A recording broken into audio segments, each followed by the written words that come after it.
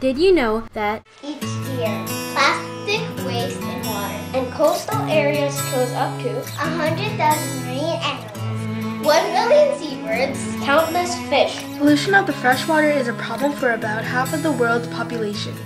Each year, there are about 250 million cases of water-related diseases, with roughly 5 to 10 million deaths.